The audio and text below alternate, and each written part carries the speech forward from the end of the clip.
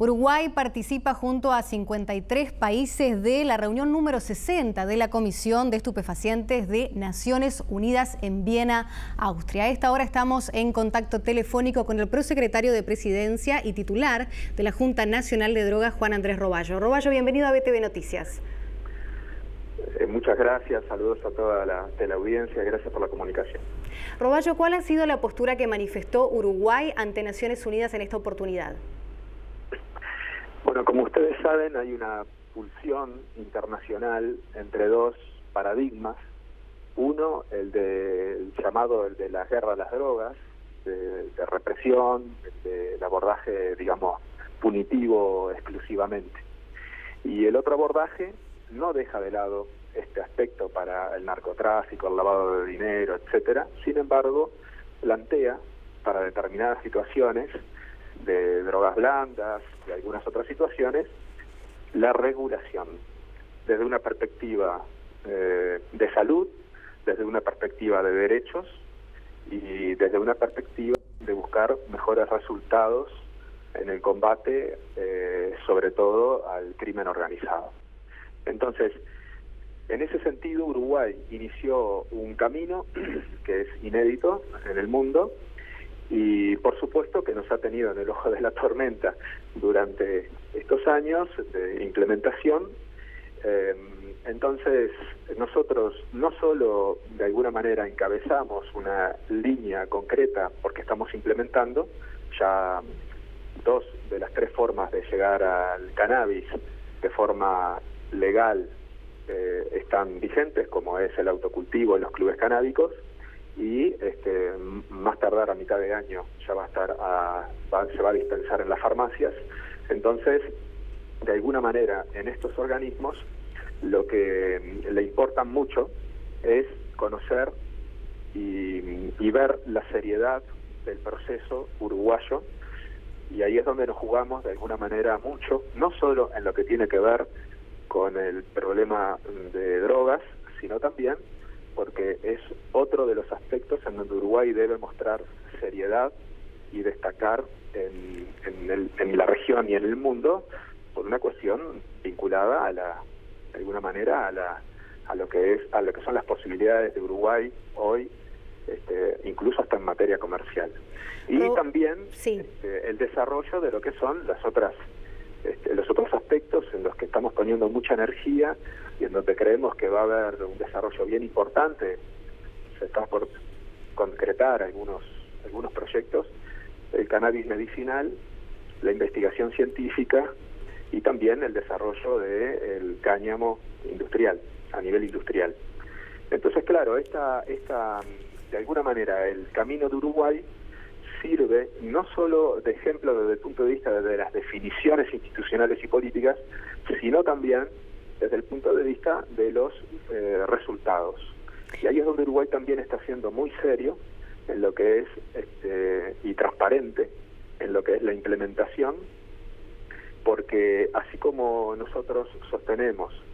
que el paradigma de la guerra a las drogas solo ha generado más violencia, porque no ha no deja de aumentar el consumo y, ha aumentado también la violencia vinculada al narcotráfico. Bueno, entonces Uruguay tiene que demostrar también que este proceso que ha iniciado va, tiene un efecto positivo, medible, y ahí está el desafío. Y por ese lado vienen las preguntas de, de la organización y también de una cantidad de países que están considerando esta posibilidad, nos piden reuniones bilaterales como por ejemplo Canadá, que tuvimos hoy, este, y otros países, los Países Bajos, en donde, bueno, quieren tomar contacto directo con los principales responsables para obtener de primera mano información sobre el proceso de implementación. Roballo, usted hablaba de eh, resultados medibles. ¿A qué pruebas puede remitirse Uruguay en lo que lleva de la aplicación del proceso, como usted decía, innovador y que ha quebrado de alguna manera inclusive con la esencia de las políticas aplicadas por Naciones Unidas?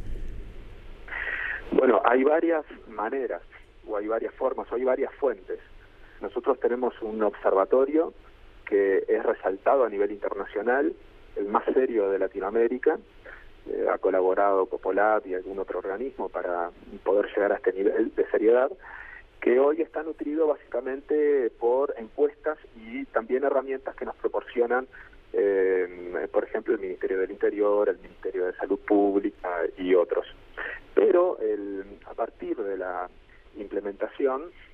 eh, y los dos registros que están funcionando, el de autocultivo y, y en, para el caso de los dos, mejor dicho, las dos, las dos expresiones que están funcionando, el autocultivo y los clubes canábicos, que están siendo analizados, fiscalizados, acompañados, eh, y ahora sumándole la, la dispensación en farmacias, vamos a abrir dentro de poco tiempo el registro también, eh, eso nos va a permitir, además de contar con la herramienta de las encuestas y la información que nos brinda el sistema de salud, el, sistema judicial, etcétera, vamos a contar con la herramienta de que, nos va a brindar el registro de los, registros, porque si bien eh, hay una disposición legal que se va a cumplir a rajatabla y es la de este, la de preservación de la identidad de quien se registra, salvo que un juez lo solicite fundadamente, se va a preservar. Hay módulos de, de alguna manera de, los perfiles del usuario que nos va a permitir conocer esos perfiles y llegar con políticas diferenciadas de acuerdo, por ejemplo, a eh, la franja etaria, eh, el nivel socioeconómico, eh, la, este, el, lugar del país en donde se encuentre el usuario. Entonces eso va a ser información muy valiosa y nos va a permitir también medir si efectivamente este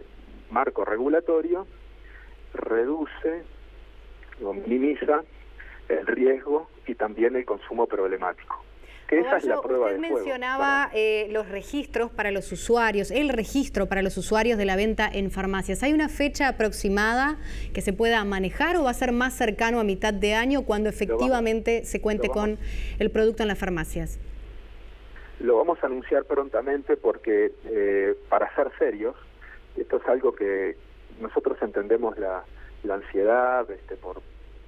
por, por, sacar eh, adelante esta, esta fase del proyecto, pero nosotros tenemos que garantizar una cantidad de cosas, entre otras la inocuidad del, del, producto que se va a poner al consumo humano, etcétera. Se están terminando los exámenes clínicos, viene todo muy bien. Eh, pero precisamente el, el registro eh, eh, se va a, a, abrir y va se va a lanzar la campaña de comunicación eh, un tiempo, solo un tiempo antes de, que efectivamente eh, se esté extendiendo en, farmacias. Roballo, volviendo a la reunión que se celebra allí en Viena. Si no generamos una expectativa que no se condice con la realidad y eso genera frustración y no es serio.